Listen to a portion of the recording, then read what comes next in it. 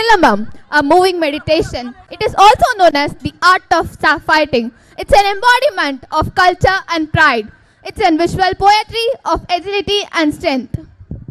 Now I invite our Silambam students to the stage.